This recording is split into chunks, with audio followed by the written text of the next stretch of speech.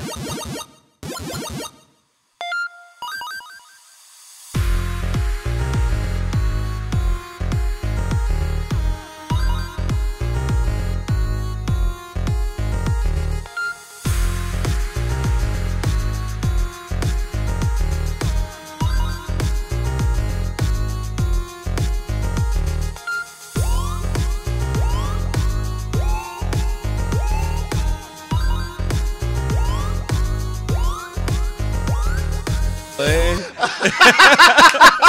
Me reventó.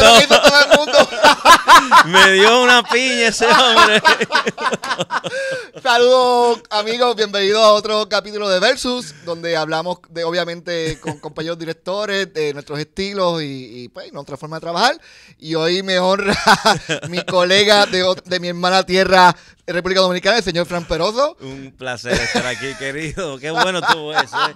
¿Tú te recuerdas de Double Dragon? Cuando Eso es, te- sí, ese flow, Double Dragon. eh, Mortal Kombat y eso. Sí, cool. entonces se llama Versus, eh, como, como dice la gráfica, básicamente es nada para comprar los estilos, como tú trabajas, como yo trabajo, y de vez en cuando tirarnos de vez en cuando. Claro, claro. Me encanta. Pero, pero obviamente eh, es un flow de, entre panas. Esto es un podcast de compañeros, colegas, amigos Claro, hablando y de las experiencias. Así que, Me encanta, me encanta. ah, pues bienvenido a Puerto Rico. Gracias, bro, por Pero- traerme aquí, estar aquí. Estaba loco por venir, súper contento. Sí, pero tú has venido aquí ya, wow. No, Pe- yo, mucho. la- yo, que, que no, esta es la primera vez que te veo en persona. ¿Cómo va a Pero yo sé que tú has venido acá un montón de veces. Sí, sí. Digo, mentira, yo te vi en la premier de ¿Qué León? Creo Es que fue de lejito. Es lo que te digo. De lejito. Ahí, ahí te vi, pero no nos presentaron. Y yo ¿Tú nací nac- en Cagua. ¿Tú naciste en Cagua? Claro, yo nací en Cagua, en el eres- regional de O Cagua. sea, que tú eres dominiqueño. Dominicano. Literalmente. el verdadero. Tú eres el verdadero, dominiqueño, mitad dominicano y mitad puertorriqueño. Bueno, qué cool. Sí. Naciste en Cagua y te fuiste a República. Sí, mi- mis padres son dominicanos, mi padre es médico, él, eh, y especialidad en New York, después vino a trabajar aquí a Caguas, a- al regional de Caguas, yo nací ahí y después a los seis meses regresé a República Dominicana, él decidió establecerse, de- regresaron los dos a República Dominicana, se establecieron en Santiago, que es mi ciudad, y, y desde pequeño yo, yo tuve la oportunidad, mi hermano vive acá en Puerto Rico, tengo mucha familia que vive en Ponce, es decir que, y siempre estoy muy ligado a Puerto Rico. Incluso hubo una época de mi vida donde yo estaba haciendo más cine en Puerto Rico que en República Dominicana. Sí, porque yo te conozco por, Claro. como, obviamente, digo, aunque el Versus, vamos a hablar de tu carrera Claro, como como director, director. no como actor. Qué lío. Pues, pero, pero yo te conozco como, como director porque, actually, quizás tú viniste para la premier de Miente. Yo vine para Miente. Miente fue una película, wow, de Ahí yo te conocí, ahí fue ahí- yo te Sí, pero ahí conocí. yo era, no, no era director, era un poquito más, era más Ahí. cable. Ahí. Quizás ahí nos Ahí fue conocimos. que nos conocimos. Eh, Miente, diablo, eso fue 2000. no, eso fue 2000. 3, 2004, no, 2006 sí. por ahí, 7. Mm, Sí, como el 7 por ahí, 2007. por ahí. 2007, después trabajaste en Elite, de, Elite. del compañero amigo mío que me edita, este Andr- Andrés Ramírez. Andrés Ramírez. Y Eh, después hice América con Sonia Fritz también Ah, y, wow, eh, cool. con eh, eh, Edward James Olmos. Eh, y luego las películas que he tenido la oportunidad de hacer, no sé qué me pasa, es que yo no siento una división entre República Dominicana y Puerto Rico, porque todas las películas que he tenido la oportunidad de dirigir, siempre tengo puertorriqueños en el cast. Claro. Y claro, de que por- te alimenta, te alimenta mucho. No es de que la estrategia mercadológica de que para hacer las taquillas de Puerto Rico, porque el, el puertorriqueño sí tiene una cultura cinematográfica. El puertorriqueño sí va al cine, incluso per cápita tiene menos habitantes que República Dominicana, pero van más, más puertorriqueños al cine que dominicanos. Mm. Claro, sí, sí. Aunque el dominicano apoya mucho más su cine local, el puertorriqueño va más al cine, aunque sea a ver las películas americanas y eso. Eh, pero es simple y llanamente, integro muchos puertorriqueños porque de verdad su cultura, eh, es a nivel cultural, ustedes son una fábrica de talentos, tanto en la música como en la actuación, es verdad, bro. Ustedes tienen, tienen una, una, una magia y eso nos, nos enriquece siempre los- las producciones. Pues mira, qué curioso que tú dices eso, porque en mi caso es al revés. Yo soy, eh, o sea, soy director puertorriqueño Claro. que he trabajado con talento dominicano Exacto. Y ha sido una escuela. O sea, yo, o sea, mi primera película con talento dominicano fue dominiqueño, Con que fue Piano. con, con Boca Piano, eh, Pachulí, Pachulí y Correa. Y Correa. Y eso fue una escuela. Es que son unos maestros. escuela. Sí, no, eso fue. Y entonces lo curioso es, eh, Dominiqueño fue con, con mi socio Molusco, eh, Jorge Pavón, el Molusco. Mi hermano. y en aquel tiempo, él y yo empezamos a hacer películas, hacemos películas de contenido hardcore, Sí. más, más agresivo, tipo American Pie, este tipo de comedia más, más agresiva. Y me acuerdo cuando decidimos trabajar con, pues, con los muchachos, ellos, la única condición que nos pusieron era que hiciéramos reír sin el doble sentido. Y Holly y yo lo cogimos como reto y ya lo podremos hacerlo. Y lo tomamos y, y- y ahora los- nuestros hermanos dominicanos, o sea, ellos tres nos enseñaron a hacer una comedia Un humor completamente familiar completamente diferente y fue una escuela genial. Sí. Y nos, ayuda- nos ayudaron a descubrir eso que Jorge y yo teníamos adentro, que Por no la- sabíamos. Y ayuda mucho por, la, por las restricciones que te ponen los exhibidores a veces a Ajá. nivel de distribución. Cuando ya tú tienes un, un- un producto que, que el, a mí me encanta el doble sentido. Ojalá yo poder hacer ese tipo de, Sí. de- de ese Es- tipo de es cine hay- siempre. Eh, claro, sí, sí, sí. pero cuando ya tú tienes ahí eh, eh, estos actores que son maestros toditos, Boquepiano, Pachulí, Correa, que conocen tanto más o menos eso, yo me imagino que fue divertidísimo. Sí, no, fue una ella. escuela y aprendimos. Y como te comenté, Jorge yo descubrimos otro tipo de comedia que vivía en nosotros y no, no sabíamos que estaba ahí, que hacer comedia familiar. Y desde entonces yo hago películas de comedia familiar, digo, con uno que otro innuendo Claro. coladito por ahí. Claro. Pero, pero ya no hacemos que joyita, ese tipo de películas que, que nos disfrutamos. que me, que me encantan, por cierto, me encantan, pero, pero es cierto, al final de cuentas ya uno, uno va, mira, mira por ejemplo, tú, el resultado, esa es la película más exitosa en Puerto Rico. Sí, Dominicanos es uno. Eh, es la, es la película más exitosa que Talento de Barrio, te comentaba. eh, eh, los números de esa película son impresionantes. Y eso es simple y llanamente porque conectó inmediatamente con la audiencia. No solamente por las figuras, también el género. El género. Sí, no, y era, era un junte, fue timing, este, los muchachos que son bien queridos en Puerto Rico, este, los Sanquipan, que como Claro. le, le decimos aquí, este, más la mezcla no solamente de Jorge, este, Danilo Sí, Buchan, Alejandro sí, Gil, sí, ¿sabes? sí. Fue, fue un team bien, bien chévere y la película y el contenido pues, pues marcó. Pero no hablemos de mí, hablemos de ti. Vamos, no, vamos, vamos, vamos. Hablemos de tu Yo estoy entretenido. Mira, este, nada, pero yo creo que hay bastante similitud en- entre nosotros. Sí. Digo, obviamente yo no soy actor, tú vienes de la actuación. Ah, tú, no vamos a hablar de tu carrera como actor, vamos a entrar un poquito en ella, pero eh, quiero hablar más como, como director. ¿Ok? ¿Tú te vistes dirigiendo alguna vez en tu vida? Mm, sí, pero lo honestamente lo veía como, no sé, más longevo, más largo, más, más, a más tiempo. Yo me imaginaba como a los 60 dirigiendo una película. ¡Wow! Porque es que todavía siento, tengo ese, ese, ese, ese duende de la actuación, lo tengo muy vivo. Eh, pero como, como comentaba, las oportunidades hay que agarrarlas desde que te llegan y, y me dieron la oportunidad, la vi, la aproveché y al fin y y ha nacido una carrera como director muy buena, que me siento contentísimo de, de- de lo que está pasando en ese en este mundo. del- Cada película aprendo cosas nuevas, cada, cada reto que se me presenta en una producción, wow, pero ahí genera mucho estrés, no te lo niego.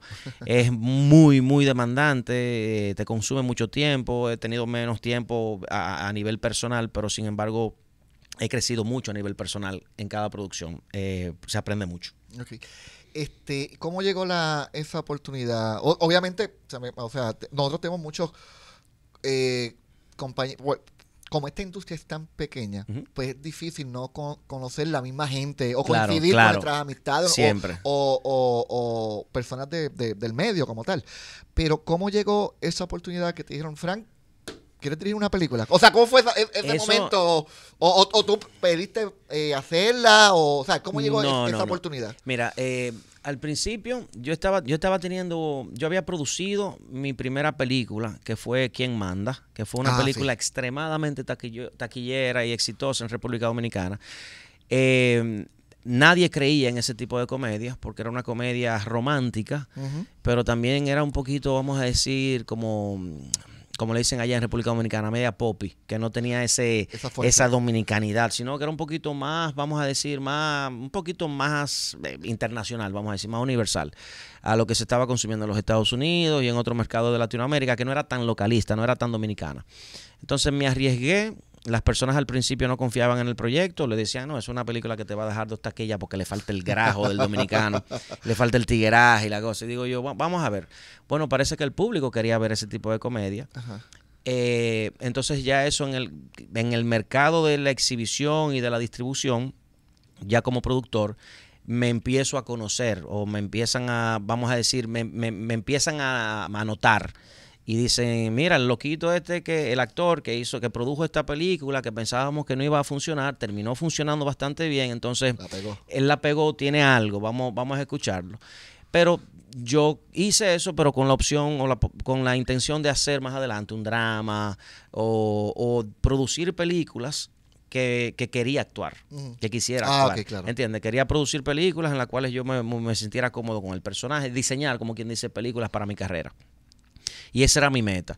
Pero entre ese, en ese proceso, eh, yo estaba teniendo una carrera muy exitosa como actor.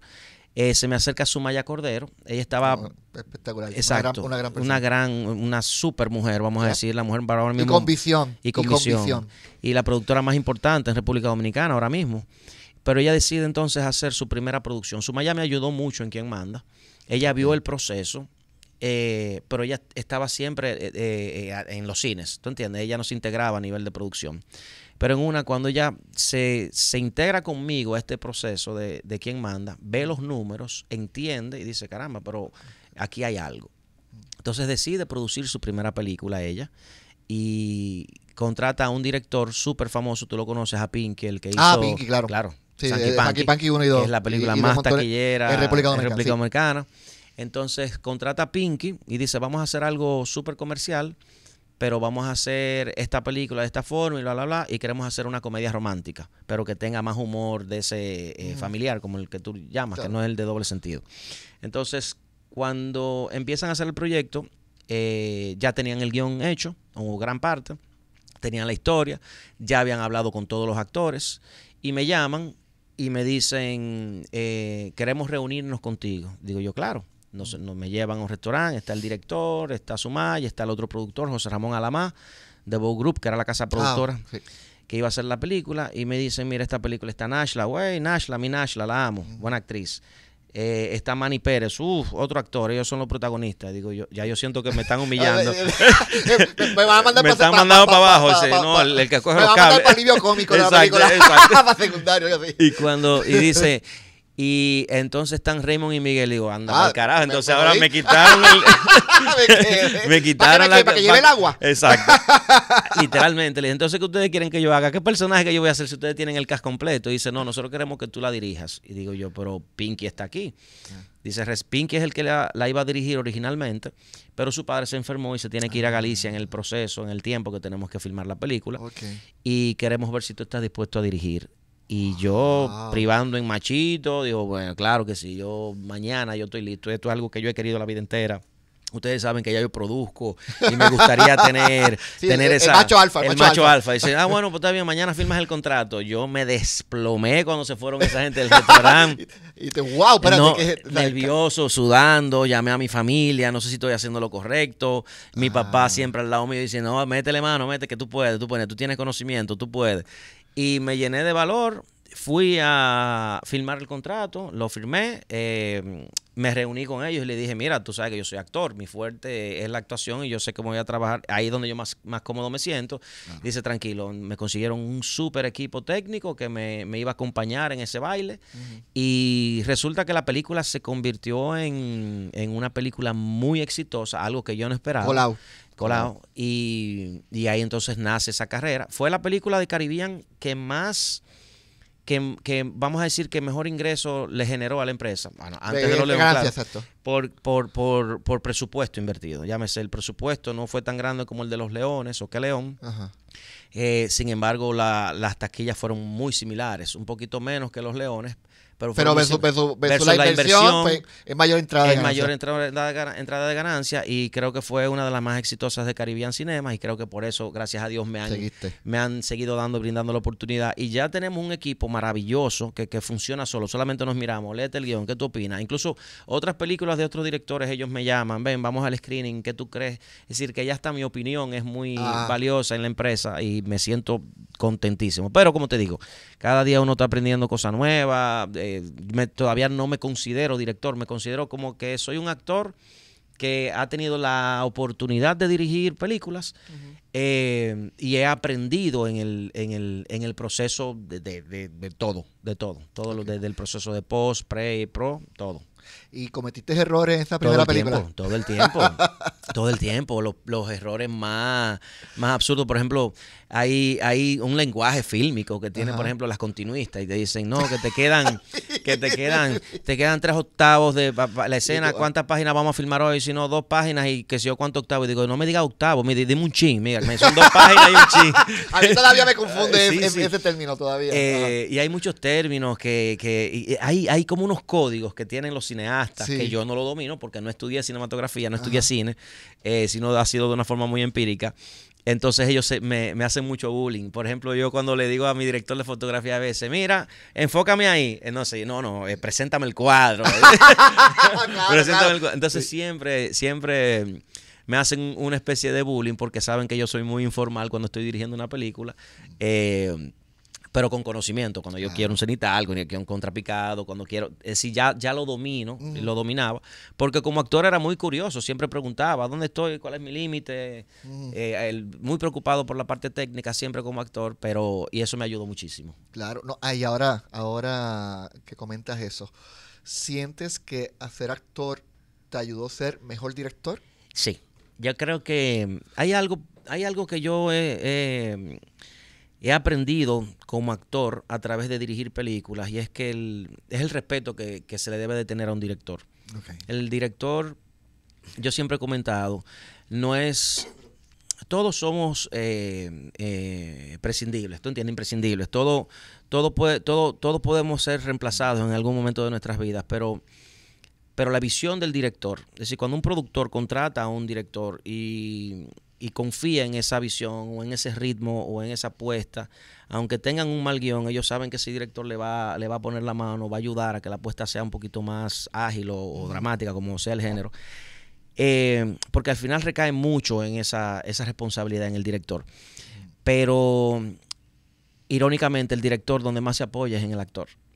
Porque cuando el director tiene un buen director de fotografía, no está tan pendiente a cómo va a ser la puesta, no va a estar tan pendiente a la iluminación, no va a estar tan Sí. pendiente al sonido, no va a estar tan pendiente a, a, a esa parte técnica porque tiene una buena continuista. Cuando el director se libera de todas esas cosas y se concentra en quienes están contando la historia, la materia prima de la película, que son los actores, entonces yo entiendo que a mí me ha funcionado muchísimo porque me, me concentro mucho más en, en- en el ritmo emocional que tiene que tener esa escena Claro. y el ritmo que debe de tener la, la- la película en ese momento. Y tú vas editando en tu mente la película y, y es porque, gracias a Dios, eh, me gusta trabajar mucho con los actores. Y entonces, me voy a adelantar una pregunta al final, antes de entrar a tu otras películas. ¿Tú entiendes que la película que tú querías hacer es la que termina en pantalla? Nunca, Nunca. nunca. ¿Pero a favor o en contra? ¿Cómo, a- a- eh, ¿En positivo o negativo? A veces crecen, a veces no. Ah, ok. Porque muchas pasa- sí. sí, sí. ¿Tú sabes por qué? Porque. Wow, son muchas cosas. Hacer cine es, como decía, no recuerdo cuál era el director que lo decía, es jugar a ser Dios. Es decir, tú haces que llueva, tú haces que haga sol, tú haces que la gente llora, tú Cierto, cierto. Es, es- es- es jugar a la vida. Es muy complicado, es muy, muy intenso. Pero muchas veces tú tienes una idea de que esta escena puede funcionar. Ah, ok, pero la actriz o el actor no te dio la emoción. Ah, llovió, en vez de hacerla en exterior, tuvimos que hacerla en interior. Entonces hay muchas limitantes a veces cuando se, se trata, se habla de hacer cine que no quede exactamente como tú la tienes conceptualizada la escena o la película per se. Muchas veces queda mejor, muchas veces queda peor. Muchas veces hay limitantes con accidentes dentro de la película, que un actor no puede estar en tal fecha, entonces te están limitando la escena del final. Eh, tú solamente tienes dos horas para hacerla y sin embargo una escena transitoria o incidental dentro de la historia tú tienes cinco días para hacerla, Claro. ¿entiendes? Entonces eso influye mucho a que muchas veces lo que está en el guion, en el momento de la realización, se, se nos complica un poco como directores. Y ahí yo siempre he dicho que nunca he tenido la película que he querido hacer. He, he estado muy cerca. ¿tú Sí, yo, yo, un pienso igual, yo tengo por 90. porcentaje, mira, esta película es un un 90%, de lo que yo quería, 90%. un 75%, hay una que fue un 50%, que ¿Y esa es la más que sufrí, pero, porque a veces son, son cosas que, como tú dices, que no tienes control, y no solamente de que si llovió, o si un actor se enfermó, o, o- o cosas que pasan, ¿verdad? Pero a veces uno brega con pues, uno, uno, tú eres el director, pero también Pero le el- responde a, a un- a- tú respondes- a ahí un, a un ejecutivo. Ahí voy. Y a veces tú pulseas con esa No hay gente. forma. No hay forma. Mira Yo he pulseado y a veces No, ah, no, no, es complicado. Mira, un punto tal que recuérdate que en los 90, eh, cuando los CD y los DVDs venían aparte con el Director's Cut. Ajá. Ahí voy. Ajá. No existe un director en el mundo que edite bien su película. Honestamente, Ajá, ajá. no existe un, un director que edite bien su película porque se apega tanto a la literatura y a lo que filmó que a veces quiere ponerlo porque él sí entiende su visión él entiende que es así que se debe de contar, lo cual funciona, pero muchas veces los productores dicen no me funciona, la gente se me está durmiendo, hice un screening, a la gente no le gustó, pero a mí me gusta, sí, pero no, no la estamos haciendo para ti, la estamos haciendo para la audiencia. Entonces, siempre el corte que sale es el corte de la- de la- del productor, El que puso los chavos. el que puso los chavos. el verdadero jefe. La última, la última palabra. Entonces, a ti, tú sientes que te, que te están quitando, que ahí yo no entendía que debía de ir ese reggaetón, que tenía que ir una música clásica. Y dice, no, señor, se me van a aburrir ahí. Es que yo necesito que me pongan este carro. No, señor, no llegamos a ese nivel. Eh. Entonces, ahí es donde yo siempre, como director, he entendido Sí. que nunca tenemos la última palabra. Así mismo es. Raúl Marchán, que es otro director. Grande, Raúl, yo lo quiero aquí, mucho. Él decía. Y él es que- editor, Raúl, Es editor, también. empezó como En- editor y, ujú. y- y- director. Él, él decía: Mira, yo entiendo que yo no tengo control del corte final. Porque Nunca. todas, todas sus películas le han dado un machetazo. Y el editor. y- a él le tiene que doler dos veces. Claro, claro, claro. Porque tú como editor puedes jugar para venderle al productor de que eso funciona. Pero, pero tú sabes cuál, cuál es el problema que tenemos los directores con ese tema de lo, eh, de esa relación de amor y odio que, que podemos tener con los ejecu- ejecutivos, Con- que los queremos y los amamos. Y, y dependemos de Y, ellos. y de- dependemos de ellos como tal, pero a veces, y a veces toman decisiones correctas, que Sí. después cuando tú la mires tú dices, contra, es verdad, Es cierto. la pegaron, pero a veces no. Sí. Y cuando falla, el público nos dice, eh, falló el ejecutivo, Falló- falló el director. director. Ahí el es que voy. director, Y tú coges el ticket, o sea, Tú coges el eh, ticket tú del coges el error ticket del y de entonces es, es difícil. Porque Y se gana el Oscar y no lo coges tú, lo Lo coges coges- tú. que, Lo que- que es así, claro, es así. Es así. O sea, Entonces te, somos- me estoy hablando con un espejo. De verdad, es que es verdad. con el tipo que pasamos por lo mismo. Es lo sí. mismo, es lo mismo. Sí, y, sí. Y, y- y es cier- y lo que más me gusta es eso que tú dices. Es decir, cuando ya tú tienes un productor, muchas veces los productores, eh, no recuerdo cómo era, ¿cómo se llama? Eh, eh, hey Kid, where's, where, eh, Where's My Movie?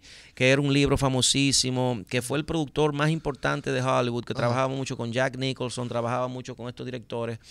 Era súper famoso, pero él como productor ejecutivo casi siempre trabajaba con la misma, con el- la misma calidad de directores. Él hizo El Padrino, Ah, el, productor del Padrino.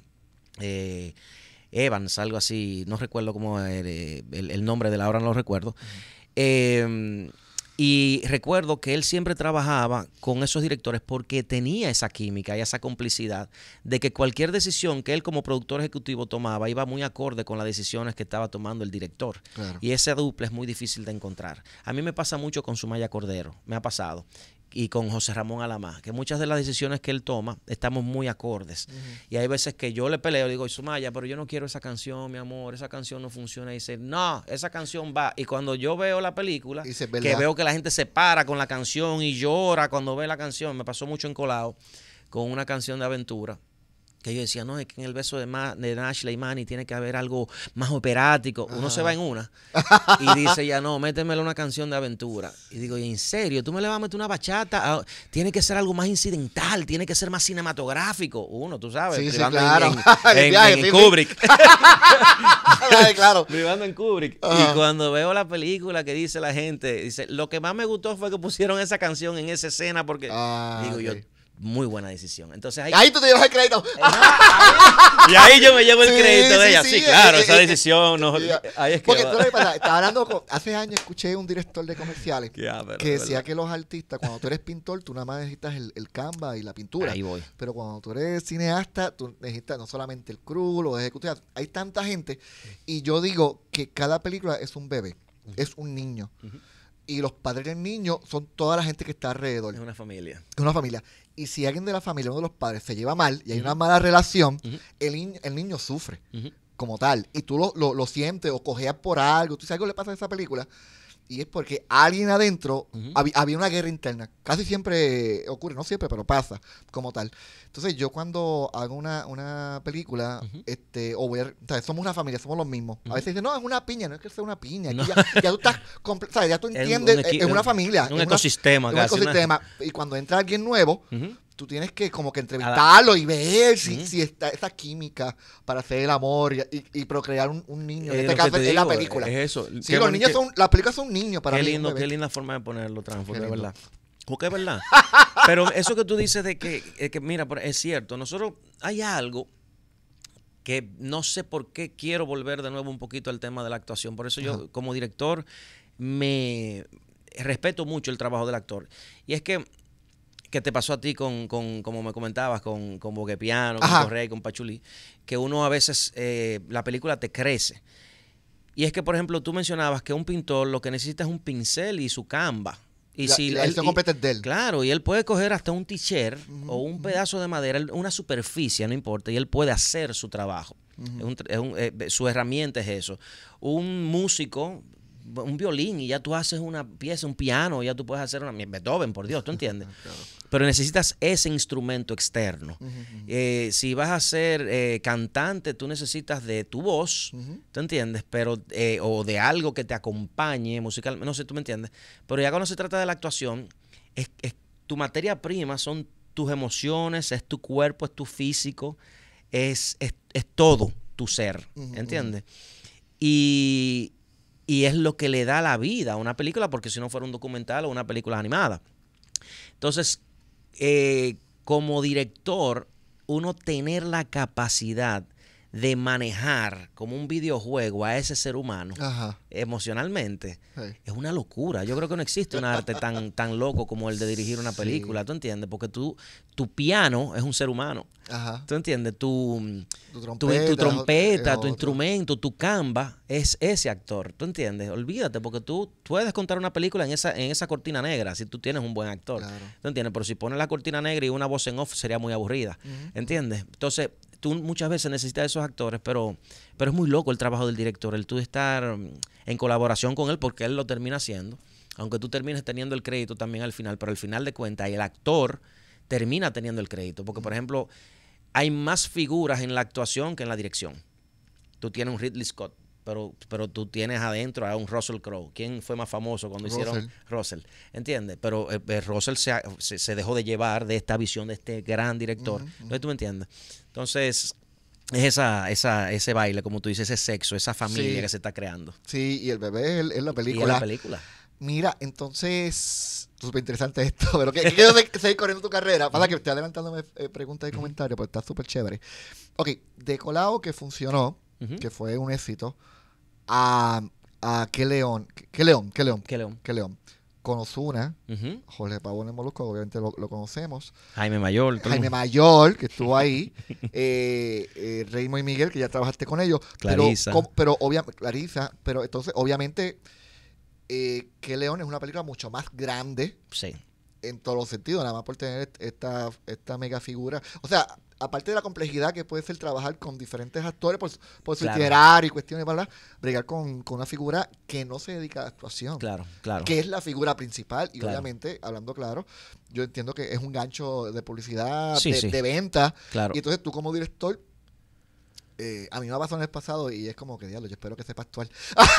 Porque, ¿cómo, cómo fue? Eh, eh, obvia- me imagino que la presión de Colau a que León es no triple, 20 veces mayor. No, más, te quedaste corto, 50 veces más. Háblame de esa experiencia de que León. Sí, porque que León, yo sentí como, ok, ya están abusando. Es decir, Oye, oye, Eh, yo eh, creo que una, pero oye, te- la cogiste no, larga. No, no fue bien en la primera, pero no sé si te puedo hacer la segunda bien, ¿te entiendes? Sí, Claro. yo, yo me sentía también de una forma u otra muy inexperto, no que estaba improvisando porque tenía un buen equipo y confiaba en ese equipo que me acompañó a hacer la película. Pero cuando veo que me. Ya, a mí me pasó en colado con Arcángel, que ya yo había trabajado con. Ah, pero Arcángel hizo Algo pequeño. Algo pequeño. Aquí Osuna era, es el protagonista. el protagonista. Y, y también teníamos la limitante de que en corto tiempo, por cuestiones de fecha, conciertos, Sí. tenía que ir a Brasil a grabar un video, tenía que hacer mi- millones de cosas. Teníamos que, a vapor, hacer las escenas, pero tú como director sabes que tú necesitas tiempo con un actor que no es actor para poder lograr que la escena fluya y que quede bien. Claro. O tener el actor para poder hacer la escena, ¿tú entiendes? No la puedo hacer si él está en Brasil, no la puedo hacer la escena por Zoom, ¿tú entiendes? Necesitas... eh, eh, y que eh, esté enfocado contigo. claro. Que, no- que no que la cabeza esté en el eh, disco que va a grabar que o esté algo. donde esté, exactamente. Pero es lo que yo digo, que es lo que me ha pasado, que ha sido una, una gran sorpresa. Yo siempre he dicho, todo el mundo que va al cine en algún momento de su vida, no importa la edad que tenga, no importa quién sea, sueña con verse en la gran pantalla.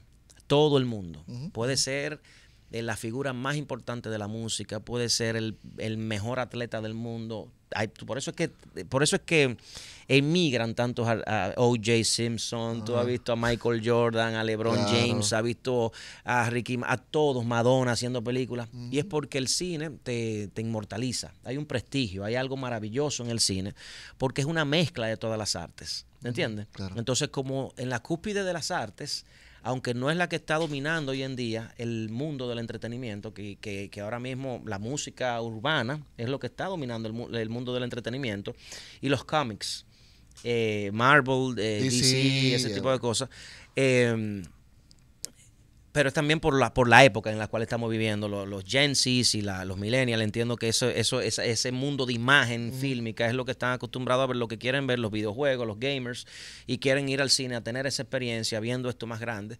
Pero el cine siempre ha tenido una, en, en los ciento y pico de años que tiene de creación, siempre ha- se ha convertido, ha tenido el prestigio como lo más grande del mundo del entretenimiento. Entonces, ese prestigio se mantiene. Entonces, cuando tú tienes una figura de la talla de Osuna, artista global, impresionantemente talentoso, que te dice, yo quiero hacer una película, sí, y te firma un contrato, dice, no, espérate, aquí hay que buscarle la vuelta como haya que buscársela. Por eso que tú dices, mercadológicamente es una garantía, es un cheque al portador. Ajá, ajá. Pero ok, eh, va a ser un cheque al portador si la película es buena y para que sea buena tiene que saber actuar o tiene que... Sí, tiene- tiene, tiene que ir de la mano. o tiene sea, que ir de la mano, tiene que estar en el baile. Men, pero hay algo lindo en, en algo. Él siempre, él me, siempre me ha dicho, a mí yo siempre he querido hacer cine. Yo siempre he querido verme. Yo, yo, él consume mucho, mucho, mucho cine, consume mucho Netflix. Eh, ya después de Los León, él ha hecho ocho películas. Ah, wow. ¿Entiendes? No Eh, hizo que la- Tom la and. Jerry, que hizo, Ah, Jerry, hizo eh, Fast and the Furious, me llamó, vámonos para Inglaterra, que estaba nervioso, quería montar el, el personaje que hizo allá. Es decir, su carrera como actor, vamos a decir, incluso él me hizo una historia muy linda, eh, porque él quería, perdón, para cerrarte la pregunta, sí, entonces cuando tú quieres, muchas veces tú tienes eh, esa disposición de, de- dejarte llevar y guiar, y, y confiaba mucho en que yo soy actor, y me decía, Fran, es lo que tú digas, entonces yo a Osuna lo ponía de una forma u otra al principio de su carrera a imitarme las, entonces, las emociones.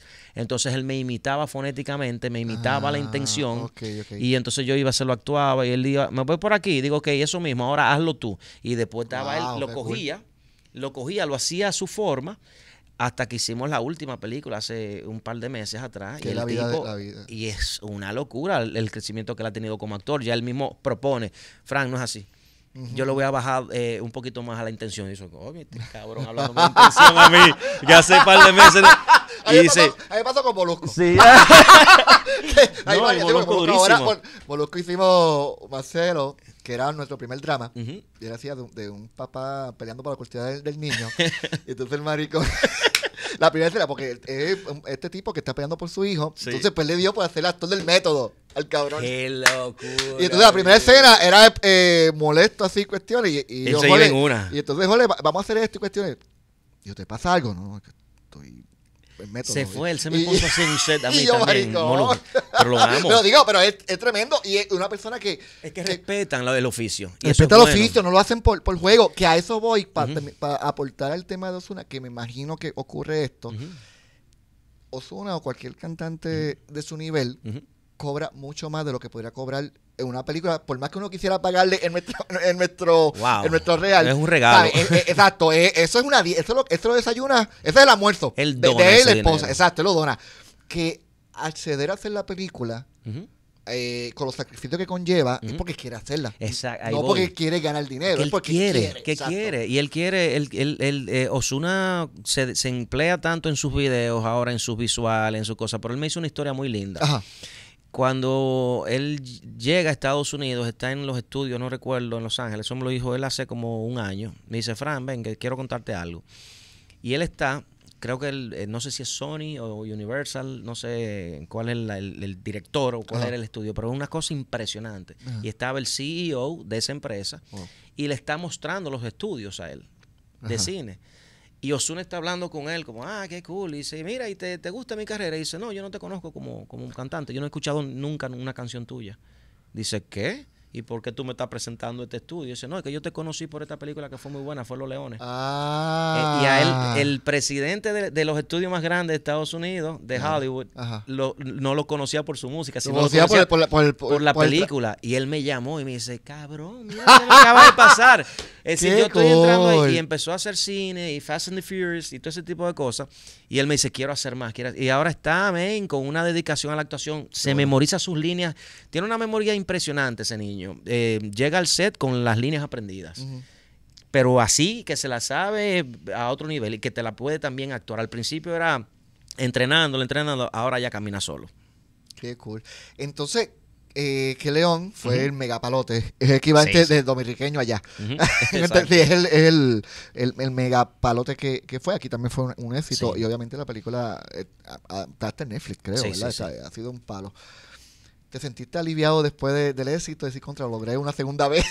Yo lo que siento... o lo logramos, porque es trabajo en equipo. Sí, logramos. sí, sí, se logró. eh, era una película que estaba dirigida a un target muy infantil, ¿entiendes? Era, era, era muy para toda la familia, pero también tenía, no era una película para adultos, sino era una de Es una esta, es- Disney, eh, es la fórmula, que Fórmula, siempre ha es Romeo y. Julieta. Es Romeo y Julieta, Teen, o sea, gracias. eso se ha hecho miles de veces. Yo lo he hecho. O sea, todo el mundo lo hace. Son fórmulas. Y, y se logró, se logró bastante bien. La película tiene mucha aceptación. Mucha gente que yo pensaba que no le iba a gustar la película la consumió y me dijeron, ah, mira qué bien.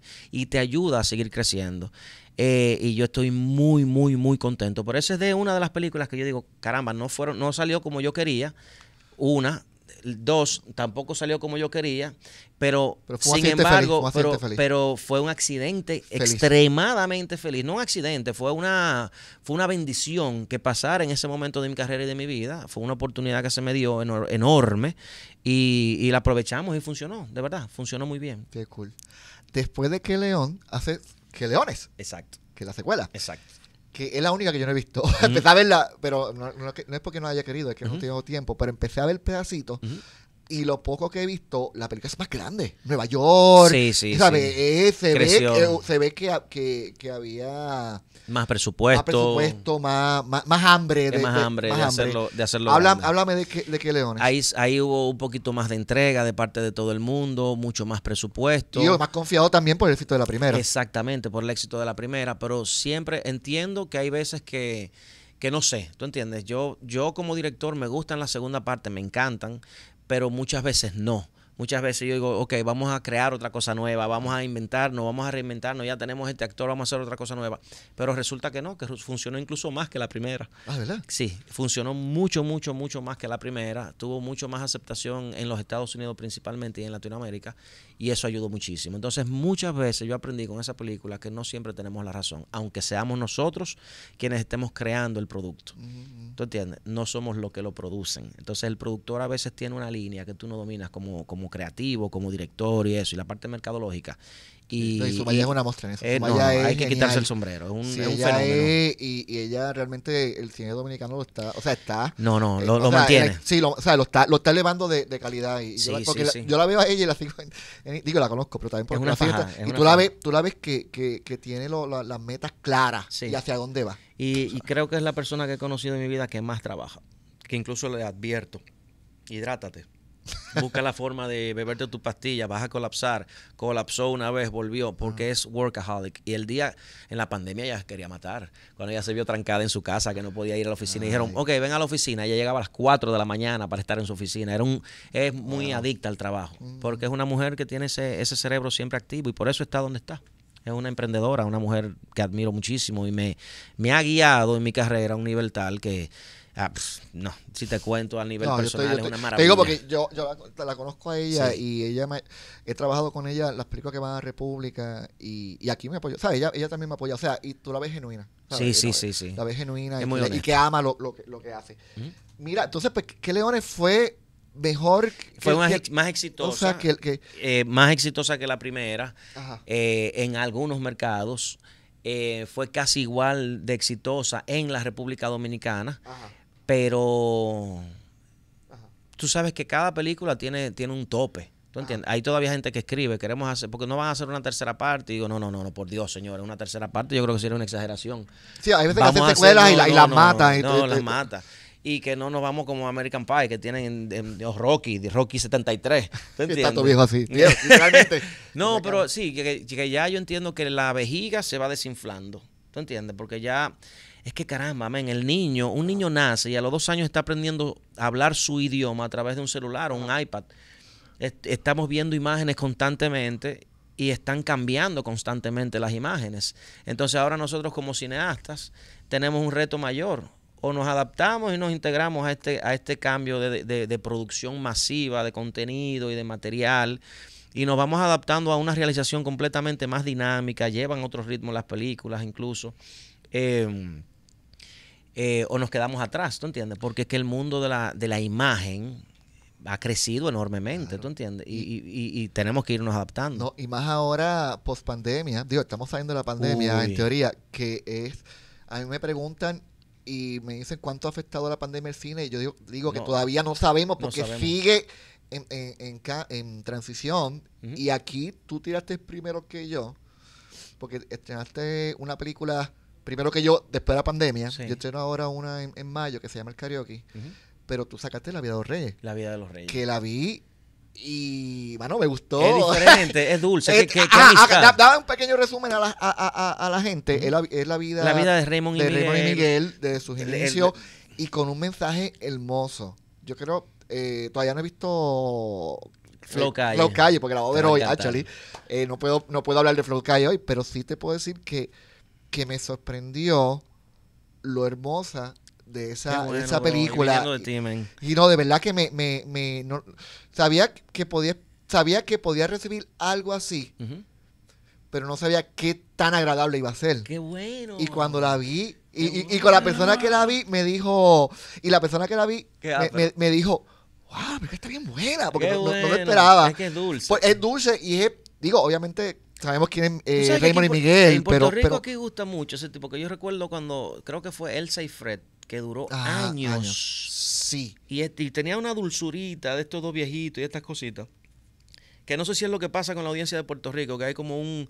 Le gusta el romance, le gusta lo, lo sutil, le gusta lo dulce, pero también le gusta lo... lo Ajá. ¿Tú entiendes? Los fuegos. Ajá, ajá. En República Dominicana, sí es como tú dices, es una película dulce porque es la historia de, de dos amigos. inspiradora. Exacto. Exacto.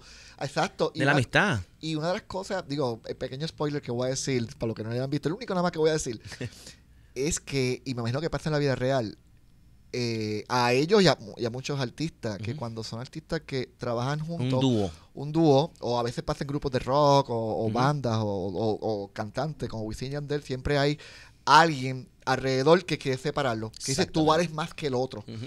Qui- eh, eh, dale la patada. Y Este, vamos a quedarnos nosotros. tú y yo. y lo mismo le pasa a la, a la otra parte. Vete pero ellos están tan claros que ellos se protegen como hermanos. Me paro los pelos. No, ellos se quieren como verdad, hermanos y siguen verdad. ahí. Y eso pasa mucho en, en todos los medios. eh, a, a los artistas, ¿verdad? Yo imagino que Wisin y Yandel lo habrán pasado por montones. Este, a, a los grupos de rock o, o, o bandas de salsa, eso pasa.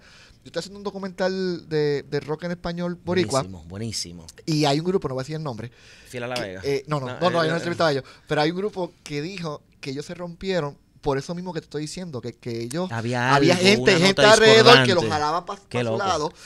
Y, y, y por eso se rompieron. Y yo y entonces yo veo esa historia y yo, mano, es- eso es historia universal y por eso la gente se identifica cuando tú tocas esos temas y me encantó esa relación de ellos. Sí. Y yo contra ojalá tuvieras amigos así, digo que los tengo, Sí, ¿verdad? Pero, pero uno sí. quisiera, coño, ojalá, son lo, lo que los valora, pero eso lo trabajaste muy bien, pero entonces, Es como familia. con men. familia, porque la película, ahora hablando del contenido de la película, la película es comedia, pero es hermosa y tiene ese mensaje. ¿Cómo te.? Bien diferente a, a- Sí, a el- Leones y a Colau. Tenía, tenía, Leones, o sea, eh, eh, tenía ¿cómo- una historia con más ¿Qué te parece? Exacto, ¿qué, qué- cómo fue ese cambio de, de, de los leones a, a, los, rey- a, los, re- a los reyes? Sí. Del- A mí lo único que me... me- el, el mayor- yo estaba muy contento con, con que me hayan regalado ese biopic. Que sí, no es un biopic, biopic. Es un biopic, exacto. que me hayan regalado ese, esa, esa película eh, porque son dos seres humanos que admiro muchísimo, que me han acompañado en casi todas las decisiones que he tomado como director, han estado frente a mis cámaras. Eh, y me siento más que agradecido porque me hayan regalado esta, e, e, ese, ese, ese momento hasta donde están sus vidas ahora, porque sus carreras siguen. Pero es como tú dices, hay algo que, que esta película es como ese principio familiar. Tú puedes pelear con tu madre o con tu padre y pase lo que pase, ellos siempre van a estar ahí. ¿Tú entiendes? Y, y, es como la esencia familiar en, un en dos personas que, que no son familia, que se han inducido a convertirse en familia. ¿Tú entiendes? Que han decidido unir sus familias, es decir, se apadrinan sus hijos, eh, no es cierto. El, mensaje de Dios, eh, cómo, Dios llega a ellos. y tú ves que la película tiene otra sustancia, tiene, por ejemplo, ahí yo trabajé muchos dolis, a diferencia de otras películas, que, que, hasta la apuesta es completamente diferente, pero eh, teníamos una historia un poquito más adulta que Los Leones, pero eh, creo que también por eso funcionó. Pero funciona mucho más a las personas que conocen esa historia de ellos de allá atrás, o personas que no conocen esa historia, o personas que conocen a las figuras, a esas dos figuras, como Raymond y Miguel, y cuando ven la película se sorprenden, porque todo el mundo piensa que Raymond fue el que le dio la oportunidad a Miguel, pero fue Miguel que se la dio a Raymond. Entonces hay, hay como informaciones que en República Dominicana ha sido un éxito porque la gente dice, caramba, yo no sabía que eso había pasado así, yo pensaba que era al revés, o... ¿Te entiendes? Lo que pasa es que los biopics digo, es arte, pero tú haces un documento histórico, es un, es un documental actuado, básicamente. Y nada de ficción, todo lo que pasó, fue A mí me pasó igual, yo he tenido la oportunidad de hacer dos biopics. Una fue la de Vico Sí, que todo el mundo dice que es mi mejor película. Y ahora la lucha libre, que, que, que estamos en postproducción. Pero una de las cosas que siempre tenía claro, que, y, lo, y lo vi ahí en, en Los Reyes, y me imagino que fue así, fue el respetar la historia. Pero Bicosí que está en, en, en Netflix. esa es mía. yo soy el director. Sí, yo soy el director, ¿La viste? Claro que la vi. Ah, pues yo soy el director ahí. Y la, la, la nena, la nena que. y, y, y, y, los actores. Tengo, un fan, tengo un fan, tengo no, un fan. No, oye, y los actores que, que trabajaron. Digo, el hijo fue el hijo de Vico. Y obviamente Vico tuvo mucho que ver en la película. Pero el niño ese, el, el que hace. Es el hijo de Vico. Es el hijo de Vico. Es el hijo de Vico en la vida real. Y el que hace y el que hace de la hija de Vico es mi hija. No. Entonces hicimos ese, ese, ese, lazo. y no, y, y, la escena. Y esa actriz que, que hace de, de, de, la novia de él, ah, de la, eh, Marangeli, la, se llama Sonia el personaje, o la real. esa, esa fue una actriz que descubrí, que literalmente, tengo orgullo de decir que nosotros la, la, la, descubrimos, en la, calle, descubrimos. Buenísima. Y ahora sigue haciendo, tiene su carrera. Pero Vico es una película, y la comparo mucho con, con, Los Reyes. Sí. Este, obviamente Vico era cantante, Los Reyes es en la comedia. Pero tenían obstáculos. Tuvieron obstáculos y, y, siguieron adelante. Pero una cosa que quería respetar mucho en Vico era lo, lo, histórico, la real. Y nosotros tratamos de, de recrear mucho cuando iba a, lo, las cosas que hay referencia, las presentaciones de Vico, que tú lo ves en video. exactamente. Eh, nosotros tratamos de, de de emular, de, Hay una, hay, una, hay una escena que fue en Noche de Gala, que era un programa de, de, de artista en los 80, y Vico fue, y la, la presentadora, que era Marilyn Pupo, la vida real, nosotros fuimos donde ella y ella le dio la ropa a la actriz para que se la pusiera. porque tratamos de respetar esa veracidad. porque, son, porque, son, porque son íconos. Exactamente. y entonces, pero en Los Reyes pasa un montón. Y pasa lo mismo. Porque están recreando muchas cosas que hay referencia en televisión, que lo pueden encontrar en YouTube hoy en día. Me imagino que existe lo mismo, ¿verdad? Este respeto Hasta a la ropa. Incluso había personas que decían, yo creo que aquí hubo un problema con el departamento de vestuario. ¿De verdad? Decían, yo creo que aquí habían unas personas, unos cinéfilos, ya tú sabes. Siempre los hay. Siempre los hay. Que dicen, yo creo que aquí él no debió de tomar esa decisión, ese contraste de esa pared, de ese color con la ropa y el vestido que él le utilizó en esa escena, el vestido de novia. A mí me dio una pena porque yo tenía en edición, al final en los créditos, todas las fotos reales de lo que ah, hicimos para, para, que la gente lo comparara y, decidieron la producción, no, no da tiempo, no lo hagamos porque se ha utilizado Ahí cuando yo fallé, entonces, es lo que hablamos ahorita de que el otro falla y tú coges la culpa. entonces ahí digo yo, bueno, eh, redes sociales empiezan a subir la foto y Raymond subió su foto de la ropa y el ah. vestuario de cuando fue su boda y era fue exactamente la misma ropa que utilizaron en los mismos colores en las presentaciones, Ah, ok. lo mandamos a hacer exactamente igual y la gente criticaba que no, que el vestuario no era como muy Eso lo real. hicieron en, en- digo, ha hecho muchos muchos biopics, pero en Rocketman, la de Elton John, Ajá. usaron, estaba la- el actor y la peli, y, Y- y- Elton John de verdad con la ropa y es súper, súper cool. Sí, sí. Traiste un tema, los críticos de cine. Me encantan. no, no, no. Yo tengo relación de, de, Sí, a mí me de gustan. amor y odio, más odio que amor, pero Sí. a, a mí, por, por, por- como vengo del cine, eh, bueno, las películas de entretenimiento, según ellos, como tal, no cine, para mí me- muchos de ellos me odian, son un poquito lo que, lo que, lo que, esto. mí me ¿Cómo, ¿Cómo te parece con los críticos? Mira, a mí me gusta, a mí me, me es importante, eh, irónicamente, me es importante su opinión, pero hay, hay cosas que yo sé que, es decir, no lo busco, no los leo, no, no me preocupo, porque mm, el cine es muy subjetivo. Entonces, m- cada, cada persona tiene su propia visión de, o puede quedarse con algo que tú tal vez ni quisiste trabajar para esa, con esa intención y funciona.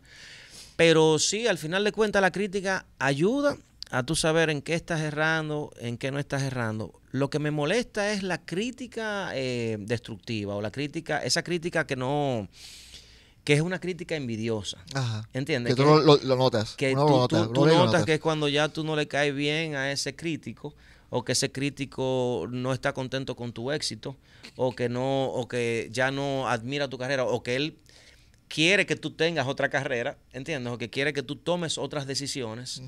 Caramba, y digo yo, pero yo no sabía que había alguien que sabía más de mi vida que yo mismo, que la estoy viviendo, ¿tú entiendes? Ajá, ajá. Entonces, ahí, ya, ahí, entonces yo, ya, más nunca te vuelvo a leer una crítica, ¿entiendes? Claro. No, no vuelvo a escucharte, no vuelvo a, a- a aceptar tu opinión, porque cuando tú te vas ya en, en cosas que son innecesarias, ¿tú entiendes? Ya irte a lo personal o irte a, a algo, ¿tú entiendes? Ya esa, esa crítica no me importa. Pero sí me gusta la crítica, por ejemplo, cuando yo presenté ahora una película importante que produje más que el agua y fue a festivales, y en los festivales de República Dominicana la película no tuvo una aceptación per se, porque decían, no, lo están poniendo porque él tiene contactos con su malla y están poniendo Ah, la sí, película. eh, sí, Siempre sí. hay un chisme. Y, pero después la película viaja y cuando viaja dice la película es un fenómeno, las actuaciones están impresionantes. Entonces ahí yo digo, caramba, ¿a quién le, a quién le doy la razón? Ajá. ¿Te entiendes? Entonces a veces me confunde un poco la crítica. Eh, me gusta porque te ayuda a crecer si tú estás haciéndolo mal, pero muchas veces me resbala porque yo no trabajo para la crítica, yo trabajo para la audiencia. Y si la audiencia, a mí me preocuparía, me preocupa más que yo mida una, una audiencia triste con un producto a, a una prensa que me diga, un crítico o alguien que me diga esa película es una mierda. ¿Tú entiendes? Claro. A mí me duele más que la audiencia sea la que me lo diga. Exacto, sí, porque al Porque final para ellos público- las películas son para, para el público, no para los críticos. Esa es mi crítica. Pasa que no le, exacto, pasa que no le, obviamente que no le gusta un dulce, ¿verdad? Pero, pero quiere más que un ¿A dulce, quién no le gusta un A- a dulce? quién no le- exacto, que no le un dulce. Pero a mí al principio, quizás te pasa esto a ti, porque ya tú tienes varias, pero realmente es bien difícil para personas llegar a hacer una película. Y cuando tú haces una película, la primera, y te la destruyen, los críticos, tú lo coges personal. Sí, y es muy- a mí es la, primera crítica yo la cogí, mano, Sí, sí. bien personal. El tipo no me soporta, es un sucio. Pero con el tiempo, hacer más películas, he podido asimilar que las críticas, hay, hay críticas constructivas y hay negativas, y he podido di- diferir y no coger eh, personal las que son personales. Claro. ¿Sabes? Porque hay críticas Porque personales que te tiran para joderte y ya yo aprendí, mira, no, está bien, está bien. Porque tampoco pueden ser indiferentes. Tú puedes, no puedes ser indiferente a las críticas porque si no, no hay crecimiento. Yo entiendo que la crítica ayuda. Una crítica, tú entiendes, pero una crítica honesta, tú entiendes, de un amigo. Pero algo, alguien que, que, que tiene envidia de tu profesión o que dice yo quisiera estar haciendo eso. Es muy fácil tú desde las gradas decir, eh, no, un gol así lo mete cualquiera. Ajá. Métete al juego. Métete tú al juego y trata de correr dos veces esa cancha a ver si no se te va a salir la lengua del cansancio. ¿No entiendes? Es muy fácil. Sí, es, siempre, más- cabrón. es- es- Es muy fácil decir, yo hubiese hecho eso diferente, yo hubiese hecho, pero es su trabajo también hay que respetarlo, ¿te entiendes? Porque si no... Si no Sí, si- cobra por criticar. Exacto. Mira, eh, tu nueva película que se estrena hoy en Puerto Rico. Que ojalá la crítica le encante. pero, pero, ah, para terminar con los Reyes, como que, te- que, eh, con esto de la pandemia, ¿cómo, ¿cómo fue esa experiencia pandémica de los Reyes. Yo la vi en Plaza, a mí me en Plaza de América. Puerto Rico, me gustó. Eso- Pero ¿cómo, cómo fue la, Eso fue lo peor.